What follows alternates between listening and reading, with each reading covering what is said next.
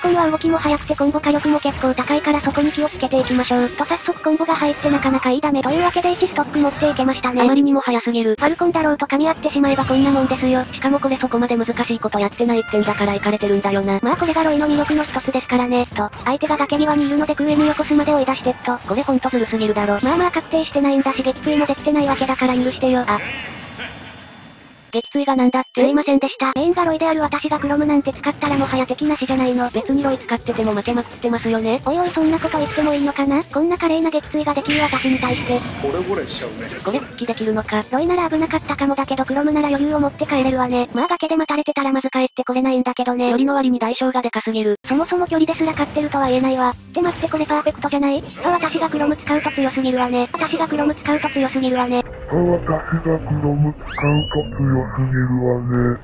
やっぱこいつ復帰弱すぎるわ。だから弱いのはお前のプレイングなんだって。そういえばお前きっとサブにするとか言ってたがどうなったんだ？ああ、普通に使うの難しすぎて諦めました。あまりにも早すぎる。まあでも少し触ったおかげで多少キャラに対する理解度も上がったわ。へえ、じゃあ全く意味がなかったってわけでもないのか。そんでどんなことが分かったんだ？え？ああ。人には緑カラーがあるってこととかやっぱ何の意味もなかったことがよく分かったよ。まあそもそも使うよりも敵として戦う方が何倍も理解できるしね。じゃあなんでさっき理解したとか言ったんだよ。だってそう言った方がスマブラ力あるように見えるかなって。なるほど。まあ確かにな。でも安心しろよレイム。そんなことしなくてもみんな分かってくれてるってお前のスマブラ力が低いこと。そう言うと思ってたよ畜生。でもなんだかんだ試合の方はいい流れじゃねえか。ほんとだ、いつの間にかストック先行してるしもう撃墜隊ですね。いやそれはおかしい。このパーセントで撃墜隊って言っていいのはガノンとかの重量級だけだろ。確かにロイも撃墜力あるけどさすがに撃墜隊と呼ぶのは違うと思うぜ。まあ焦らず80%ぐらいダメージ貯めてから撃墜を狙った方があのマリサさん試合の方もう終わってます。最初の相手は和也だぜ。と早速即死ルートに入ってんな。まあまあ、即死完璧に決めてくる人なんてそうそういないし大丈夫でしょ。わもはや分かりきってた結末だったわ。ここまで綺麗に即死決められたのなかなか珍しいな。さすがに完走されないと思って別編サボった。とりあえず即死に繋がるような動きはしないようにやっていこうかな。即死に繋がらない動きとは？いやいや実際即死されてないじゃん。相手のミスでな？そもそもワンミスで死が見えてくるのがおかしいと思うのよ私は。やっぱロイみたいに堅実な強さを持つ方がいいと思うんだよね。あっこんにちはそしてさようなら。こいつのどこが堅実なんだよ。横スマまで今弱空ごと十分破壊してくるキャラだろ。え、それってロイ最強ってこと？どうせ横スマ入れんぞ。まあ多少ロイ君が破壊キャラなのは認めるけどさすがに重量級にはかなわないんだから許してよ。あ、いい感じにコンボ入って撃墜隊になりましたね。いやだからさ、まあ撃墜隊ってだけで絶対撃墜できるわけでもうこいつ重量級でいいだろ。いやそれにしても爽快爽快。やっぱロイはこうじゃなきゃ。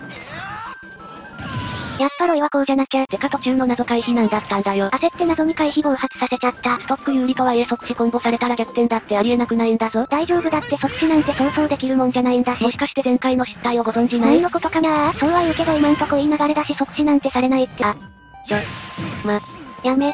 ほら大丈夫だったじゃないギリッギリでな。でも実際75%あたりから弱空をやらマベやらで撃墜が見え始めてくるからね。なら弱かマベをどうにか当てたいな。そうなんだよねだから下今日から横スマで撃墜してしまいましょう。とかマベ全く関係なくて草。ガノンはスマブラの中で唯一得意と言えるファイターなんだよね。図体がでかくてコンボも入りやすいしな。そうそうなのでこんな感じにサクッと1ストック持っていけるわけですね。説明終わる前にストック解けるガノンおじさんかわいそう。まあさっきのはかなり噛み合っただけで普段はここまでスムーズに倒せるわけじゃないけどね。でも得意というだけあって試合も順調に進んでんじゃん。それじゃこのストックもサクッともらっちゃおっかな。はいこれで2ストックまあというのはブラフでブレイザーから空母で今度こそ2ストックまで込んで2ストックね。練習でゴリ押ししてんじゃねえよ。と2ストック先行したわけですが、なんとまだ0%なんですよね。うわほんとだ。というわけでこのままパーフェクト狙っちゃいます。まあパーフェクトなんてしても特に意味ない仕掛けさえすればいいわけだし狙う必要もないからやめとこうかな。でもさすがにここから負けることなんてないだろうしもうカットでいいかしらいいわけねえだろ。じゃあこの先ガノン蹂躙動画をお送りしていこうかな。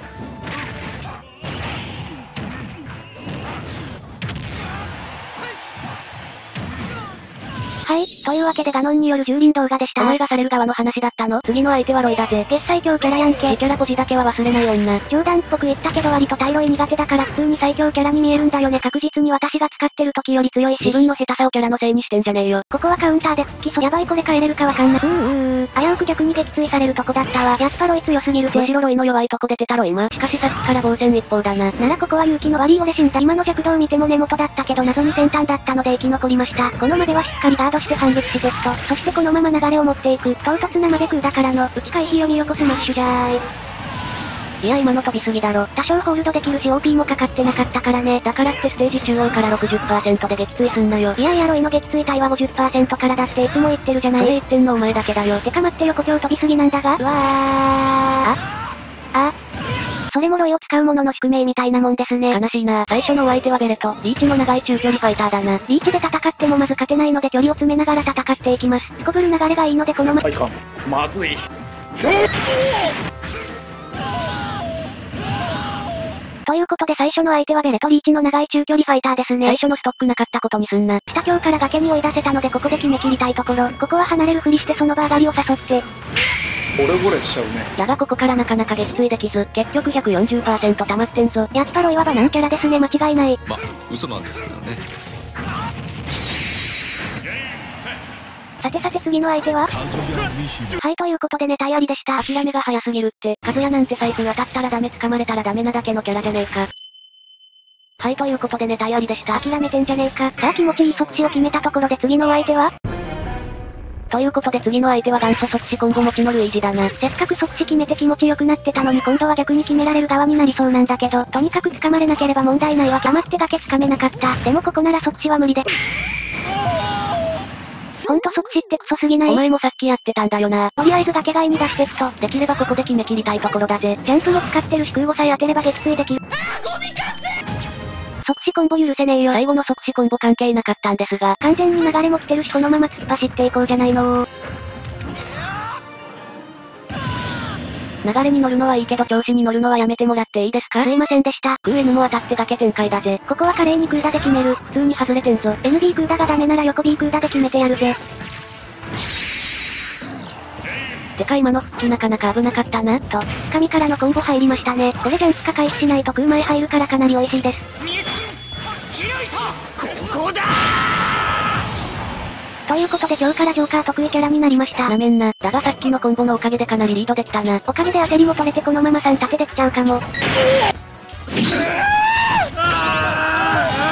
はい今日からジョーカー超苦手キャラになりました。やばい一旦マベで引き剥がして流れを止めないと。で振り向いて弱打とうとしたらなんかそのまま当た待ってこれ空母も入る感じ。してなわけで最後は完全に狙い通りの撃墜ができましたね。思いっきりテンパりまくってたんだよな。でなんだかんだ普通に撃墜狙いしやってブレイザー使うタイミングミスった。でもこっちに良ければ大上上飛びすぎだろ修正しろ。確かにスネークの上強はかなり飛ぶがロイ使ってんならそれを言う権利はないと思う。僕は負けない。まあロイもよく飛ぶ技多いけど上撃墜狙える時は意外と少ないんだよね。いやロイの上強十分撃墜狙えるだろあれほ。ぼ先端になるからめったに撃墜できないわよ。よし、外に追い出せたし、復帰阻止であわよくば撃墜でもしたいわね。見ましたか皆さん。これがさっき言ってたスティーブの罠ってやつですよ応。募が増えてんじゃねえぞお前。なんであの状況からお前が撃墜してんだよ。なんかジャンプボタンと攻撃ボタン間違えて押しちゃったんだよねス。マブラ初心者かなまあでもさっきまでこっちの方が押してたんだしサクッとストップ取り戻してみせるわよ。もうすでにだいぶサクッとではなさそうですけど大丈夫ですか？うるさいうるさい。ちなみに今回の動画も専用部屋スタートです。最近専用部屋多いな。だって負けを気にせず気楽にできるし、動画映えしたプレイしやすいからね。心の声漏れてますよ。ということで早速専用部屋で気持ちいいプレイ決めていきましょう。思いっきり気持ちいいメテを決められてんぞ。専用部屋ってことでお相手さんもなかなか大胆なプレイしてくるわね。まあ一緒に落ちたしとりあえずイーブンだぜ。だがメテを決められるってのはやっぱ悔しいもんだな。ほんならね、自分もやり返せばいいってわけよ私はそう言いたいですけどね。ということで一気に逆転できましたね。ロイのメテオ以外に威力高いよな。それになんと言っても燃やしながら突き落とすのがかっこいいわよね。なかなか当たるもんじゃないけど当たった時のあの爽快感はたまらないわ。外した時のリスクはでかいけどな。そうなのよ。だからそう何度も使えるわけじゃないんだよね。ということで、もう一回メテを狙いますか？身をもってリスクを教えてくれるなんて優しいなレイムワード。いい感じに崖に追い詰めたし弱から横スマ打ってみますか。えなんかちゃんと横スマ当たったんだけどもしかしてロイって最強キャラ？数や攻撃食らった後の体勢悪いのか弱横スマ当たりやすいよな。もしかしてこれパーフェクト。こんなのが許されていいのですか？キンクルの下スマの後引きに空へ空へから空を、さらに弱から空へにを入れてダメージを稼いでいく。はいというわけで撃墜隊ですね。いやそれはおかしい。さすがにキンクル相手でこのパーセントじゃ撃墜は無理もう撃墜隊ってことでいいや。と言いつつかなり押されてんじゃねえか。マジで追いつかれそうで焦ってきた。一旦空前でステージから追い出してっと、そしてなんとなくでベッドで当たるの？いやー、見事なメテオでしたね。当てた本人が驚いてたけどな。てか当たったことよりもいくらメテオとはいえ19%で撃墜したことの方が驚きなんだが。僕は負けない。ジョーカーはマジで苦手だからいつもより集中してやっていくわ。序盤は掴みとかからコンボされがちだからそこ警戒だな。空上かス当てだったけど運よく空 N 入ってコンボできたわね。とりあえず NB で復帰阻止剣圧をかけつつ、その場上がり読みで空 N 一段での横スマ J。開始早々行かれたコンボしないでもらっていいですか？でもさすがに倒しきれなかったか。しかも地味にメテオされかけてたぞ。あれ当たってたら普通に撃墜してたわね。まあでもその後無事撃墜できたしラッキーでした。ロイ流れ掴んだ時の破壊力マジでやばいな。この破壊力に惚れて使い始めたからね、と。またく上からコンボを狙うも今回は避けられちゃった。まあそもそも根元じゃないと確定しないからしゃあなしだろ。ジョーカー足も速いし姿勢いいからコンボしづらくてなかなかダメージ貯めれないんだよね。ここは単発でもダメージ貯めてくしかねえな。崖に追い込んだはいいもののまだ撃墜は無理だから横スマ振ってっと。なんで横スマを振るって判断が出るんだよ。そしたら映画をもジャンプで避けて ND で再度追い出します。あとは焦って復帰したところに魂の横スマッシュじゃー。ふん、というわけで完璧な撃墜でしたね。噛み合った時マジでバケモンだろこいつ。とりあえず冬に空 N 当てて降りてきてもらいましょう。そしていい感じに空 A が当たってくれたのでダメージが溜まりました。レイジーのプリケツで追い出されてんぞ。けど空 N 当たっていいダメージになったので下投げから横つまじゃう。あまりにもひどすぎるプレイ。てか相手まだ60%もいってなかったぞ。ロイの下投げに回避は禁物なのだよ。やっぱ流れ掴むとやばいなこのキャラ。というわけでさっきの試合同様このまま3立てさせてもらおうか。とまあ分かりきってたがいつものように調子乗って撃墜されたぜ。さて初戦は親の顔より見た和也ですね。もっと親の顔見てもろて。普通に相手がミスらなかったら撃墜まで持ってかれてたなあれ。とりあえずこの助けられた命を大切に使っていきましょう。行きたかったです。いくら下今日の後隙がないからってレイムみたいにこすってるとああなっちゃうからみんなは注意してくれよな。アホって書いてレイムって読まないで、このまま流れで決めきるしかない。ただ和也は道連れもあるから気をつけねえとな。とりあえずここは空母で追い出しといて、あとはここに立っとけば相手が勝手に落ちていってくれます。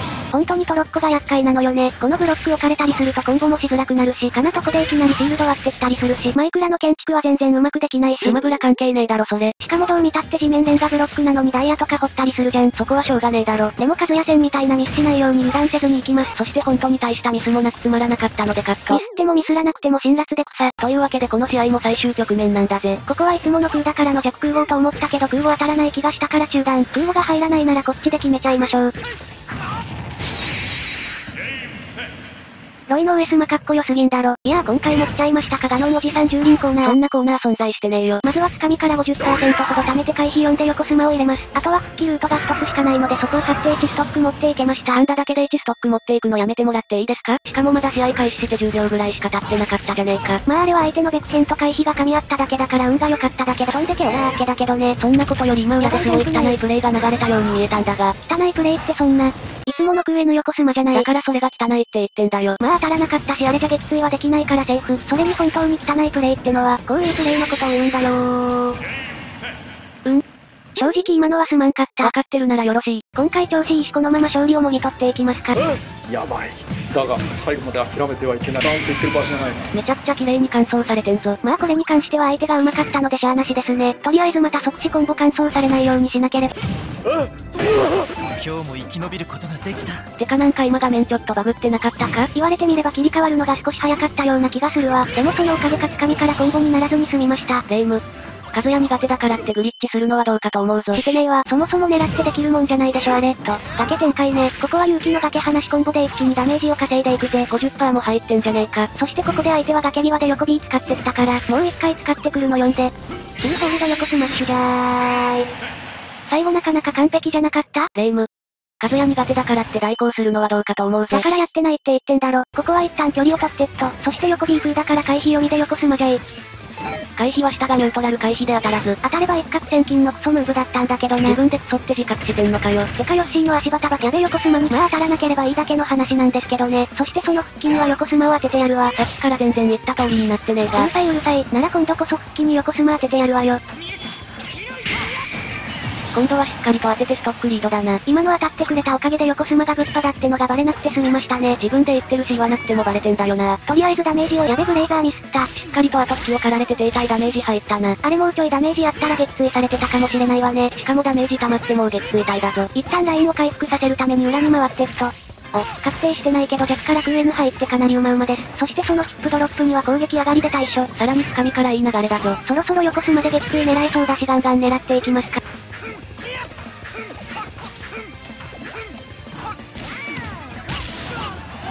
露骨に狙いすぎてしっかりと反撃されてんじゃん。受け身取れなかったら撃墜とかおかしいだろ下方修正しろこの下強。おいこいつの下強受け身取ったのに普通に撃墜してるんだけど下方修正した方がいいのでは？ごめんちょっと何言ってるかわかんない。都合の悪いことだけごまかしてんじゃねえよ。もはや癒し枠のガノンおじさん。もう私以外全員ガノン使いにならないかしら。いやうるせえな待って変なの混じってない。あとは空母で撃墜したかったです。撃墜はできなかったが状況はかなりいいぜ。また崖展開だから今度こそ決めてみせる。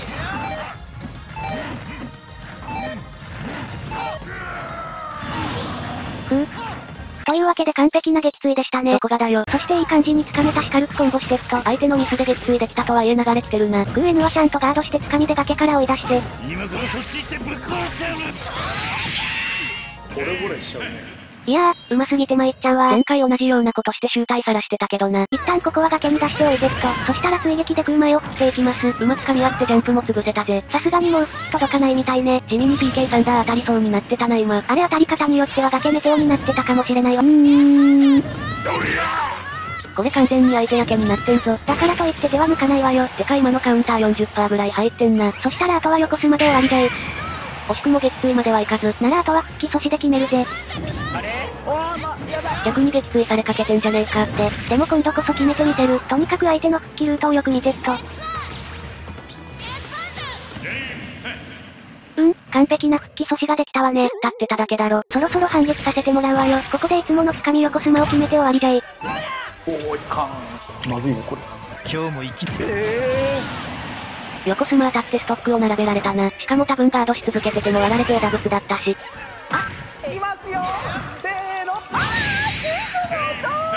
ロイのメテオ気持ちよすぎんだろ。ネタが古い上に雑コラってレベルじゃねえぞ。しかしなかなかいいダメージ溜まってきたわよ。崖外に追い出せたしここは NB で復帰阻止狙ってみましょう。ま、嘘なんですけどね。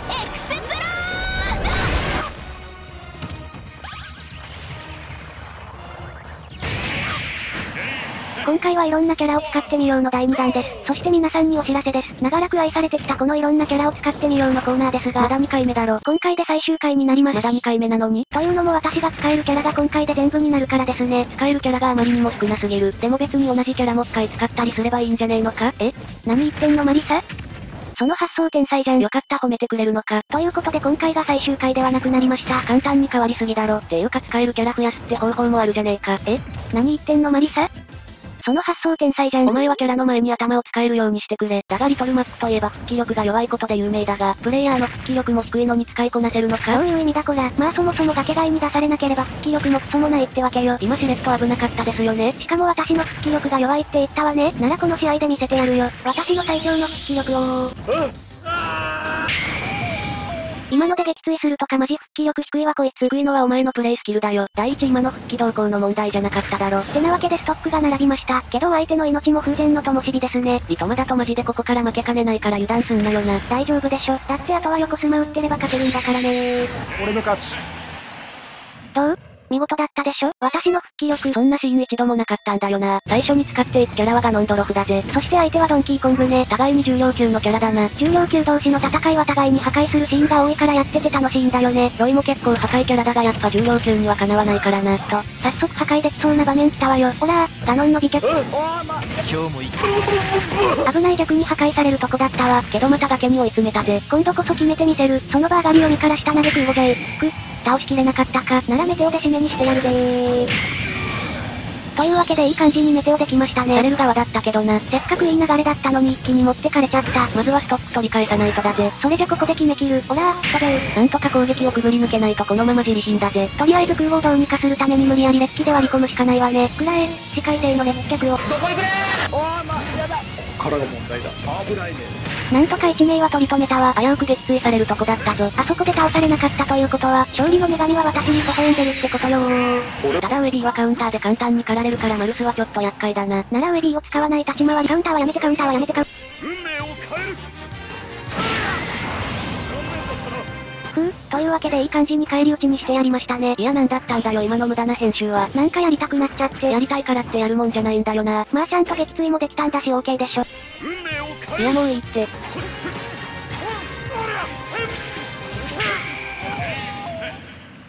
はい、というわけで最高の撃墜ができましたいやね。編集でそれっぽくやってただけで実際はただの最低な道連れしただけだったけどな。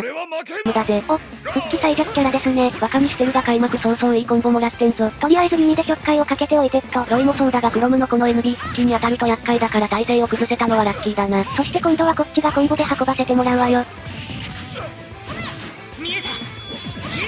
はいというわけで1ストックリードですね。気弱者たるゆえんがもろに出てたな今。でも今のは相手の復帰ミスなところもあったけどね。まあ何にしてもリードできました。だがクロムもロイまでとはいかないが破壊力あるファイターだから注意しねえとな。弱空語とかいういかれたコンボもあることだしね。君のメインも持ってるよね。あとはマベ空だからの空 N1 ガンドね横スマなんかも注意しなきゃ。そんなことしてくるやつほとんどいねえよ。また復帰に横スマ合わせれそうだったけどちょっと流行って当たらなかったか。あれ当たってたら試合終わってたと思うとマジで復帰弱いなこいつ。正直もう少し復帰がまともだったらもっと使ってるんだけどね。とはいえこの復帰の弱さのおかげで勝てた試合も多いしありがたい部分でもあるわ。特にカウンター持ちのキャラだと簡単に詰ませられるしな。そんでなんだかんだ互いにいいダメージだぜ。ただまだクットだと撃墜は厳しいかな。確かにまだきついか。思うじゃん。おめえが言ったんだろ。クロムは復帰弱いからもう撃墜が狙えちゃうんだよ。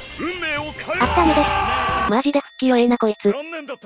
次に使うのはロイです。いやこいつロイじゃねえだろ。でも髪赤い試験持ってるし、服も緑だから間違いなくロイでしょ。色に関してはもともとは青なんだよなと、ロイって紹介してたけど実は、このキャラロイじゃありませんでしたさっきからそう言ってんだろ。マリサったら全く気がつかないからびっくりしたわ。あれもしかして聞こえてない？とまあ冗談はこのぐらいにして、今使ってるのは剣術ミーですね。通称100均ロイです。ショートでもたまに出てるやつだな。そしてこの100均ロイくんなんですが、性能まで100均レベルだったんですよね。なんでや100均いいやろ？そして使い続けた結果逆ビップ付近まで落ちました。それはお前の腕が悪かっただけでは？まあそれもあるんだろうけどさすがに使えなさすぎたので技構成を多少変えてあります。へえ、一体何変えたんだ ?NB と上 B と横 B と下 B を変えましたね。漏れなく全部変えてて草。このこのキャラ実は最近 VIP に入ったんだよね1試合しただけで。そんなことある？と毒マリの花形つかみから下 B でダメージを入れては？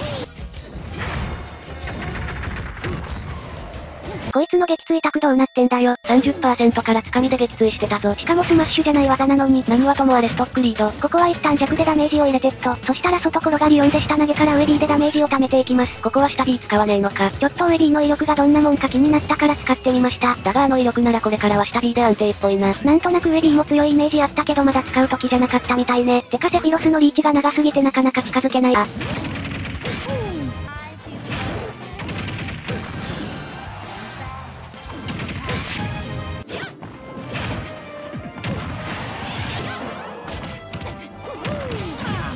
もしかしてこのキャラって超爽快キャラだったりする？どう見てもそうだろ。体力制の上に1ストックみたいだな。しかも相手はミェンミェンじゃない。体力制1ストックミェンミェンの組み合わせってこんなの。強いのかしら？わかってないんかい。だって初めて当たる組み合わせだし。まあ何にしても1ストックしかないのは要注意だぜ。でも体力制のおかげで下投げ上 B が一生確定するから使い放題だわ。だからってそれしか使わないのどうなんだ？いやネタっぽくやってるけど真剣にやってこれなんだよね。体力制だとスマッシュ使ってもあんま意味ないし確実に20%稼げるこのコンボが最適解かなって。まあ唐突にこのルールに当たったってのもあるしな。それじゃ最後も下投げ上 B で締めてしまいましょう。てなわけで今回使ったのはロイでした。自己紹介やめな。あとちなみにだけどこの試合は切断されました。残念でもないし当然。今回はキットを使ってスマブラやっていきましょう。なんかお前この前キットは諦めたって言ってなかったっけああ、確かにちゃんとしたサブとして使うのは諦めたんだけど一応 VIP ぐらいには入れとこうかなって思ってね。それに遊びで使う分にはかなり面白いしねきっと。なるほどな。でもお前キットにはロイみたいなぶっ壊したくみたいなのないけど大丈夫かよ。ふっ何言ってんのよマリサ。私のロイは堅実な使い方で使ってるじゃない。撃墜もできてないわけだから許してよ。あ、当たっていいダメージになったので下投げから横詰まじゃう。あまりにもひどすぎるプレイ。トップリードできたしこのままいかじゃ。空を狙おうかな。ほらやっぱ堅実なプレイばっかだったわね。なんか言ってこいよお前。あとしれっと100均の方のロイを混ぜてんじゃねえよ。まあまあ確かにロイほどのパワーはないかもしれないけどその分復帰力高くて復帰阻止も強いから十分早期撃墜できたりするわよ。と、相手の紹介がまだでしたね。というわけで最初の相手はもう瀕死のガノンおじさんでそんな紹介の仕方があるか。てか本当にガノン相手だと試合のテンポが速いな。そうね、とは言ってもさすがにこの試合はかなり順調だけどね。あ、